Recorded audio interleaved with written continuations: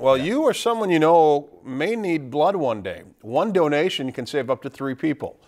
Local students did their part to give the gift of life today. Haiti Clotter has that in this week's Community Spotlight.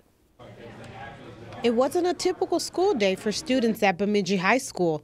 A blood drive was held on campus on this blue bus that was a donation center. Basically, there is no substitute for human blood. So somebody who needs blood gets it from somebody else to help them stay alive. Every two seconds, someone in the United States needs blood.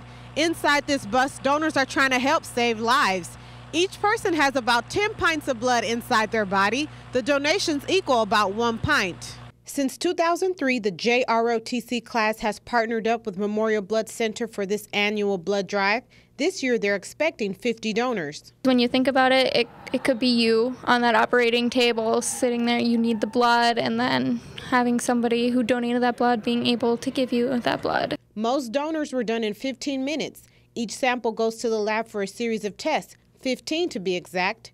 Samples are tested for West Nile virus, Lyme disease, and the Zika virus. Results are returned within 24 hours. Is that too? As part of the recovery process, students receive snacks and beverages.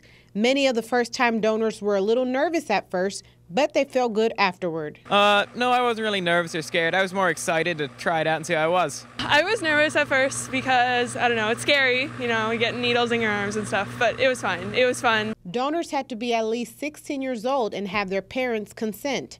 Many say they will donate again. I think everyone who can should do it, and it's, you know, helping people, and it's just a good thing to do. This is something to be thankful for.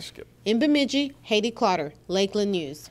If you've enjoyed this segment of Lakeland News, please consider making a tax-deductible contribution to Lakeland Public Television.